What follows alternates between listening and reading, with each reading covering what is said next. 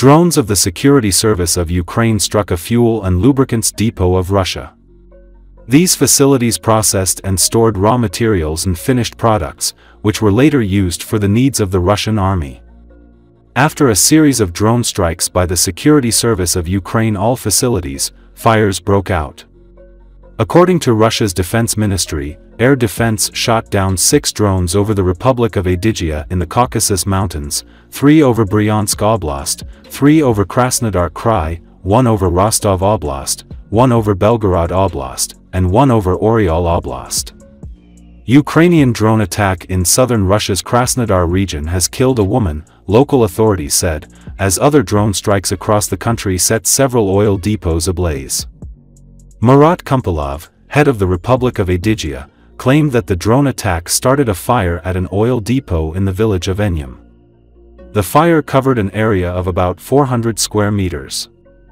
An oil tank also caught fire after an explosion on the territory of the Platonovskaya oil depot in Tambov Oblast, according to regional head Maxim Yegorov. The incident was allegedly caused by an unmanned aerial vehicle, Yegorov said. Wreckage of the drone was also reportedly found in the region's Pervomaysky municipal district. Russian telegram channels shared videos showing burning oil depots and rising smoke. No casualties were reported. The drone strikes help reduce the resources that Russia can use to wage war, as Russia is also forced to spend money on restoring its own infrastructure, which puts additional pressure on its budget, already burdened by sanctions restrictions.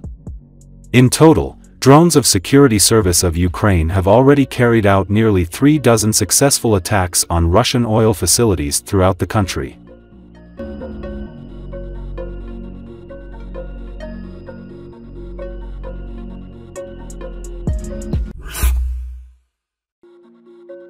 The Russian leadership takes more care of the equipment, because it is expensive, and it throws soldiers at the meat storms, so the situation in Volchansk has turned into an infantry battle, reports Forbes.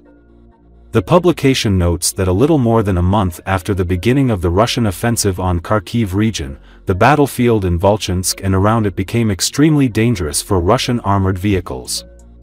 Therefore, only the Russian infantry goes into battle and dies in colossal numbers as a result of the successful work of Ukrainian drones and artillery. Unfortunately, this bloodshed does not herald the inevitable end of a wide war.